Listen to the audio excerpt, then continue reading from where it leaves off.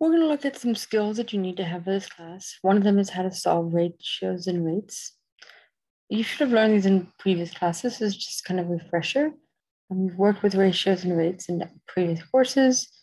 You have been able to convert ratios to a reduced form is important. This is the idea of canceling any common factors in the numerator and denominator. When working with rates, this means converting to a unit rate in most cases, which means that the denominator is one then make sure you keep the units. So as an example, let's just do one where we're trying to find out, write each ratio in its simplest form. The first one we have is 4 to 9. Now that 2 there really means fraction. It really means 4 to 9. So 4 over 9. So the fraction 4 ninths. There are no common terms, so we're done. We don't have to cancel anything out. Let's try another one.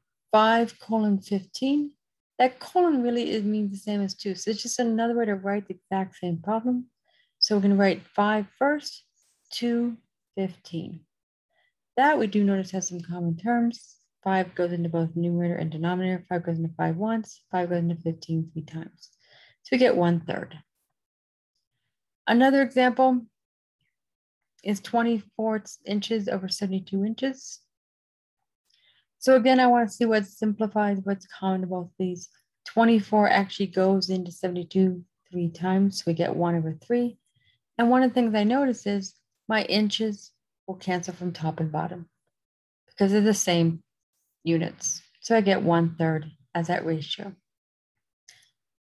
Let's go ahead and write some unit rates for each of the following columns. So we have 300 miles in five hours. So usually when we're talking about rates, we usually like to put the distance first and the time, or it really doesn't really matter, but we're so used to doing miles per hour. Let's put the miles in the top. So 300 miles over five hours. Now in this case, 300 divided by five, that goes into it 60 times. The miles and the hours are not the same. So even though like up here where the inches were the same, we can cancel them, Miles and hours don't. So this is going to be miles over hours.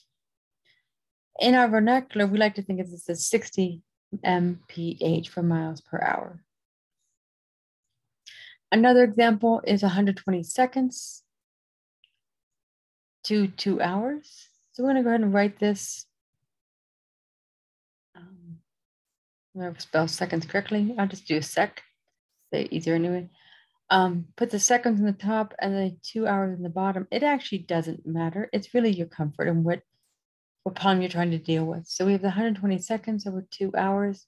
120 divided by two is 60. And then seconds and hours do not cancel, so you have seconds per hour.